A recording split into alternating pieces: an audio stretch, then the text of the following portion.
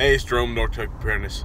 We are on the way to Walmart to uh, shoot a, well, get some supplies for um, a Walmart Challenge backpack.